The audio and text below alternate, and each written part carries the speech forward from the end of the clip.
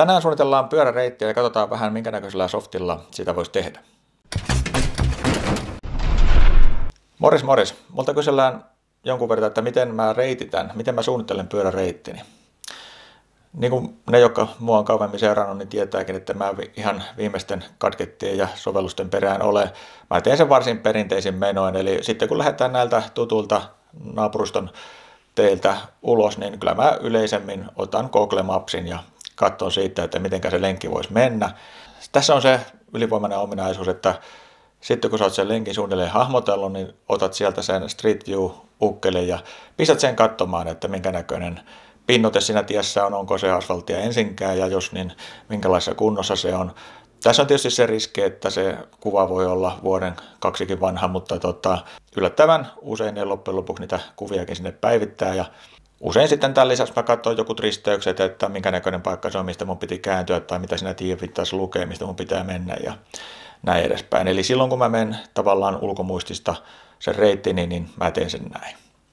No sitten jos mun pitää saada niin kuin mittarille Carmenille reitti, että se opastaa mua mihin mä menen, niin sitten mä käytän Karmin Connectin sitä omaa reitinpiirtopalvelua. Ei varmaan mikään kätevin mahdollinen sekään, mutta sen verran olen muitakin kokeillut, että kaikissa niissä on omat kommervenkinsä ja puutteensa. Tällä pärjää varsin hyvin, kun sen ominaisuuksiin tottuu. Korkeuskäyrät tietysti näyttää, että kuinka paljon nousua tulee reitille ja sitten kun sä saat sen reitin suunniteltua, niin sä pystyt siirtämään sen mittarille, joka sitten opastaa sua siellä tien päällä ja toimii tietysti toisinkin päin, että jos sä oot jonkin lenkin ajanut, sä voit ottaa sen niin pohjaksi johonkin reittiin ja suunnitella siihen vaikka jotain lisälenkkejä ja niin edespäin. Ja tietysti sosiaalinen media kun on, niin ne, jotka jakaa reittejä julkisesti, niin sieltä voi sitten ottaa kaverilta jonkun reitin pohjakseen ja lähteä sitä sitten editoimaan. Siellä myöskin näkee suositummilla reiteillä sitä, että mitä reittiä pyöräilijät käyttää, tämmöistä heatmap-tyyppistä toimintoa. Näillä konsteilla mä yleensä reittini suunnittelen.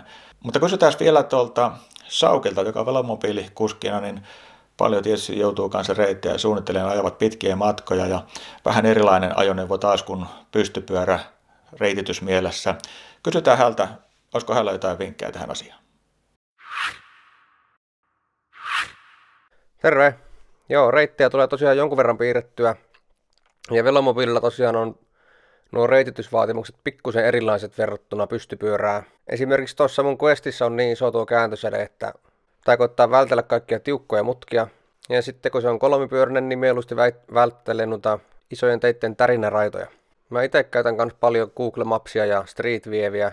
Sieltä on esimerkiksi just hyvä tarkistaa, että onko tiellä niitä tärinäraitoja. Mutta mäpäs tartun ekaksi tuohon Heatmaps-juttuun, mikä löytyi tuosta Karminin palvelustakin. Nimittäin toinen pyöräilijöiden kesken erittäin suosittu palvelu on Strava. Nekin kerää älyttömät määrät dataa siitä, missä ihmiset pyöräilee. Tämä on yksi tapa käyttää sitä. Tämä on siis Stravan Global Heatmap. Täältä siis käytännössä näkee suoraan, että missä ihmiset pyöräilee. Tosin täältä voi valita tämän activity-typen, eli täältä näkee myös, missä ihmiset juoksee, ui tai hiihtää. Mutta meitä kiinnostaa nyt vain tämä pyöräily tietenkin. Tietysti se ongelma tässä on, että jos nyt vaikka katsotaan tätä Kokkolan seutua, missä mä vaikutan, niin tästä ei näin äkkiseltään pysty sanoa, että mikä on niin maastopyörän jälkiä ja mikä maantiepyörän. Tuo karttapohja näkyy niin huonosti. Mutta nyt kun ollaan täällä Stravassa, niin katsotaanpa tuo Straavan reitinpiirtotyökalu. Tämä osaa hyödyntää tuota heatmap-dataa, kun on tämä use popularity päällä. Nämähän siis yrittää automaattisesti laskea pyöräilijöille parhaan reitin. Kokeillaan nyt vaikka piirtää reitti täältä, missä mä asun, niin tuonne, missä meillä on kesämökki. Katsotaan, minkälaisen reitin se arpoo tälle 240 kilometrin siivulle. Jahas, 360 kilometriä. No niin. No, no en kyllä ehkä itse tuota reittiä ajaisi. Täällä näkyy muuten korkeuskäyräkin kätevästi. No mutta onneksi tätä reittiä voi itsekin tässä muokkailla. No niin, nythän se näyttää jo pikkusen paremmalta. Mennäänpäs tuosta vielä lossilla, niin lyhenee matka huomattavasti. Jaha, tää ei näköjään ymmärrä losseja. No mutta, näin se tosiaan kaikissa on omat puutteensa. Katsotaanpa sitten tämmönen palvelu kuin Ride with GPS. Tää on ilmeisesti tosi suosittu reitityspalvelu. Olen mä tätä itse muutaman kerran testaillut. Kokeillaan piirtää tähän tuo sama 240 kilometrin reitti. Mitähän tämä arpoo? No mutta tämähän arpoo ihan hyvän reitin. Tosin täällä näyttää, että se menee jollekin pikkutielle. Onkohan se soratie? Ja mutta tää onkin tää Googlen kartta ja tässä on Street View. Tämähän on ihan hyvä systeemi. Ja tääkin näyttää korkeuskäyrää. Tai ainakin äsken näytti. Mitäs tää nyt teki? Tää, tässä ei pysty näköjään poistamaan näitä reittipisteitä. Tässä varmaan jos maksaisi rahaa, niin saisi lisää ominaisuuksia. Niin muuten näistä kaikista pystyy tietenkin sitten lataamaan tämän reitin GPX-tiedostona omaan ajotietokoneeseen. Katsotaanpa sitten vielä yksi reitityspalvelu. Tämä on se, mitä mä oon itse tottunut käyttää. Tämä on semmonen kuin B-Router. Tämä on ilmeisesti avoimen lähdekoodin projekti ja tässä onkin OpenStreetMaps-kartat, kun näissä muissa aiemmissa oli tarjolla myös Googlen kartat. Koitetaan piirtää tällä taas se sama reitti. No niin, tää arpo tämmöisen vähän hassun reiti. Tää ei muuten näytä sitten ollenkaan tätä korkeuskäyrää, että siinä mielessä tämä on vähän huono. Esimerkiksi viime kesänä mä piirsin tällä reitin ähtäriin, ja kun ei sitä korkeuskäyrää näkynyt, niin tietenkin sille reitille osuu sitten koko Pohjanmaan jyrkimmät mäet. Ja, mutta täältä löytyy eri profiileita, minkä mukaan tämä laskee tätä reittiä. Täältä löytyy esimerkiksi tämmöinen velomobiiliprofiili. En mä tiedä miten tätä laskee, mutta ainakin se eri reitin piirsi. Tuosta sen varmaan saisi selville tästä koodista, että mitä se laskee. Mutta tämä itse asiassa piirsikin ihan ok reitin. Täällä se menee vähän hassusti, mutta tästä kun vähän korjaillaan, niin tämä on itse asiassa just se reitti, minkä mä oon ajan. Sitten kun tämä ei välttämättä toimi aina tämä velomobiiliprofiili joka paikassa, kun tämä on vähän niin kuin suunniteltu varmaan tuonne Keski-Euroopan teille, niin täällä on tämä Shortest-profiili. Se toimii joissakin tilanteissa paremmin.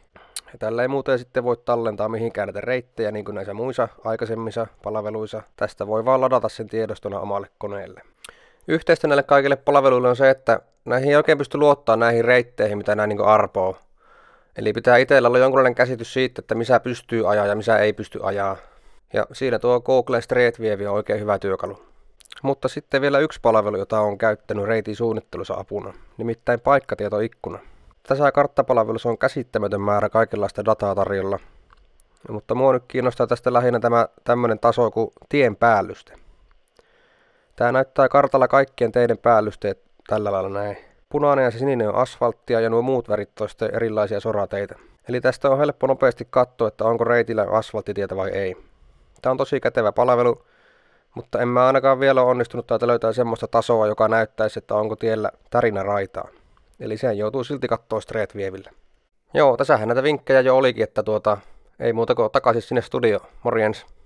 Kiitos Saukki. Siinä tuli monta hyvää uutta vaihtoehtoa ja tietoa. Ja jos sulla itselläsi on kokemuksia näistä tai jostain muusta hyvästä softasta, niin kannattaa ihmeessä kirjoittaa tuohon videon kommentteihin, niin saadaan tietoa leviämään. Ja ilman muuta kannattaa käydä katsomassa myöskin Saukin YouTube-kanava. Sieltä löytyy paljon englanninkielisiä velomobiili- ja nojapyöräaiheisia videoita. Ja nyt sieltä löytyy myöskin tuore video liittyen tähän meidän päivän aiheeseen. Eli siinä me yhdessä funtsimme turisteille reittejä, kuinka he vois Turusta tai Helsingistä käsin niin ajella kohti pohjoista. Kiitos kun katselit tämän videon. Nähdään taas ensi viikolla. Moi moi! Mitäs mieltä muuten olette? Pitäisikö munkin ruveta tällä omalla ralli niin videota tekemään?